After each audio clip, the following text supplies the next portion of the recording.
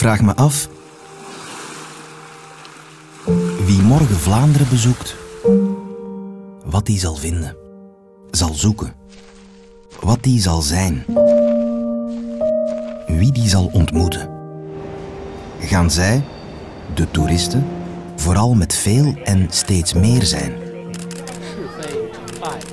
Dat zijn veel opbrengsten, dat zeker. Maar worden we hier echt beter van?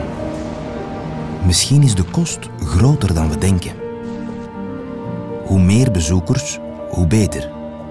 Of creëert toerisme net meer waarde door met minder te zijn?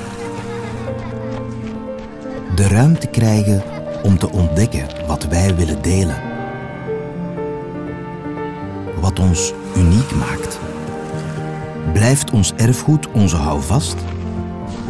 Of worden het echte ontmoetingsplaatsen met een verleden en een nieuwe toekomst?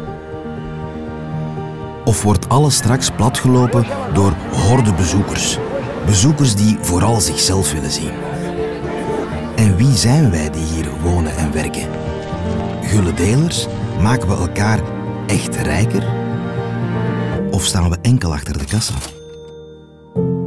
Hoe maken we het verschil tussen echt en net echt?